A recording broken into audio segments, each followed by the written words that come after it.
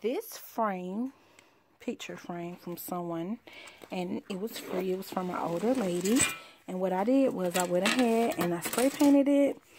And I'm just prepping everything for, um, because I need some artwork on my walls. Also, I got this piece of canvas right here. And I got it from Hobby Lobby's. It was in a pack of, I think, two or three. And it was for like, think it was about $3. Wasn't expensive. But also for this project, you're to need some painter's tape, some Mod Podge, some glitter of your choice, a foam brush, a pencil, a ruler. And the first thing you're to do is open this, take the plastic off, and get it ready to be um, designed. Okay, also you're going to need some paper that you don't mind just, you know, putting up under this artwork so that it won't, um, the glitter won't get everywhere.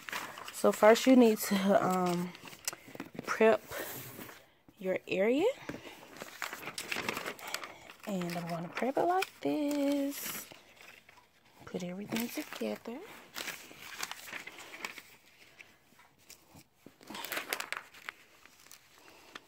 Let's see. Put this on top of it.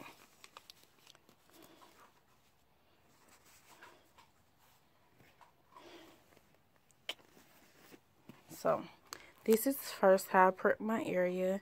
And then next, you're going to take the painter's tape and you're going to put a design on here, whichever way you want to put it on there. So I'm going to tape down my design and then I'll I'll show you what it looks like before I start with the Mod Podge and glitter. Okay, so this is the pattern that I'm going with. I like simple stuff. But what I did was I took the pencil and the ruler and I measured it and made sure it was the same number in between the whole thing. So that when you get ready to cover it, it won't not be uniform. It'll be, it'll all flow together. So this is what I did. So now what I'm going to do is take my Mod Podge.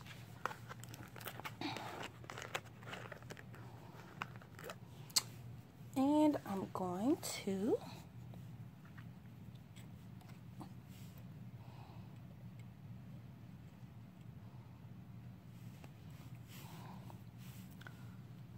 take some of my Mod Podge and I'm using this brush right here and I'm going to put it all over my board and I'm going to work in sections and the first thing I'm going to do is make sure that I use enough.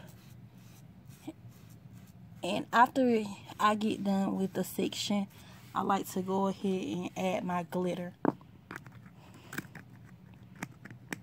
So.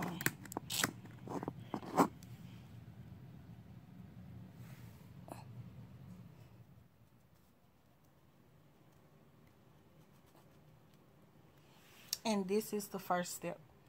So I'm going to do the whole board like that then I'll show you what it looks like? So this is the paint well the glitter and Mod Podge all mixed up.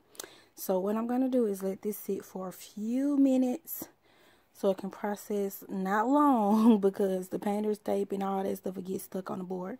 So I'm going to let it sit for a few minutes, probably like 5-10 minutes, and then I'm going to take some more Mod Podge and I'm going to go on top of it, top of this, so it'll stay. And I'll show you the results afterwards. Okay, so after about 10 minutes, I lift it up.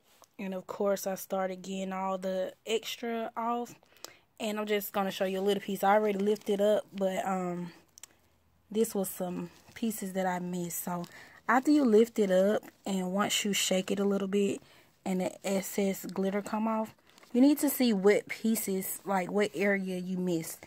And if you missed an area, put some more Mod Podge on it and then put the um, glitter on the parts where you missed. So a lot of times I never get the corners the right way. So I have to go back through it with the Mod Podge and put it on.